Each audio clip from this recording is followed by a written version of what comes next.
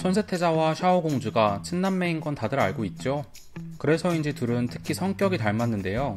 둘 다 위급 상황에도 침착함을 유지하면서 언제나 냉철한 판단을 내리곤 하죠. 하지만 세상 쿨한 남매도 사람인지라 가끔 감정을 드러내는데요. 이럴 때 둘의 표정이 유독 닮아 보여서 자연스럽게 아빠 미소를 짓곤 합니다. 여러분도 궁금하다고요? 그렇다면 마덕이 포착한 샤오와 천세의 붕어빵 장면들 함께 보시죠. 샤오는 파란색, 천세는 빨간색 눈동자를 가지고 있는데요. 눈동자 색은 다르지만 화날 때 눈빛만큼은 정말 닮았죠. 보는 사람 등골 서늘하게 만드는 저 눈빛. 그냥 제가 잘못했습니다 하고 빨리 도망가고 싶어지네요. 특히 18권에서 둘의 붕어빵 모습을 엿볼 수 있는데요. 대마왕의 악마화 마법으로 타락마왕이 되어버린 아차 장군. 아버지에 대한 불만이 가득한 아차에게 샤오는 바보 왕자라며 희죽대고는 곧바로 버럭 화를 내며 그가 얼마나 틀린 생각을 하고 있는지 가르치는데요. 비슷한 시간 염라대왕은 악마가 된 아들 아차 장군을 책망합니다. 하지만 같이 있던 천재는 희죽 웃고는 무섭게 화를 내며 아차가 왜 마음이 약해질 수밖에 없었는지 염라에게 가르칩니다. 한 번도 아버지에게 인정받지 못한 아들의 마음을 그제야 느끼는 염라대왕이네요.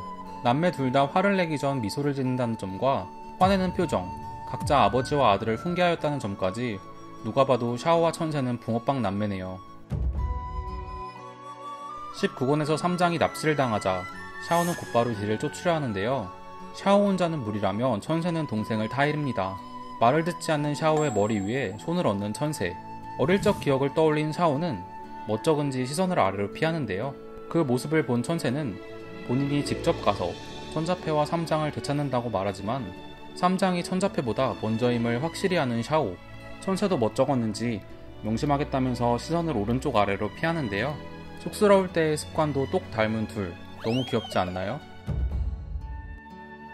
19권에서 샤오는 손오공의 악몽으로 들어가는데요. 그곳에서 예상치 못한 기억 속 장면을 목격하죠. 오래전 대마왕과 싸우러 온 천세태자와 그를 말리러 몰래 따라온 어린 샤오.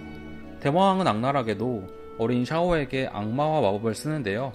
그 모습을 본 천세는 대신 대마법으로 악마와 마법을 자신에게 향하도록 바꿉니다. 어릴 적 기억을 마주한 샤오는 충격에 휩싸이는데요. 자신 때문에 오빠가 악마가 되었다는 걸 그동안 몰랐기 때문입니다. 진실을 알아차린 샤오는 자리에 주저앉고 오열하고 마는데요. 울분을 참지 못하듯 목 놓아 우는 장면은 다시 봐도 참 마음이 아픕니다.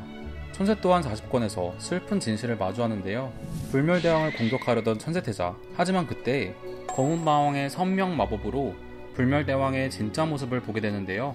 그 모습은 바로 자기 어머니였던 자비왕후였습니다. 암흑상제가 놓은 함정에 의해 자비왕후는 오나와 함께 악마가 되었죠.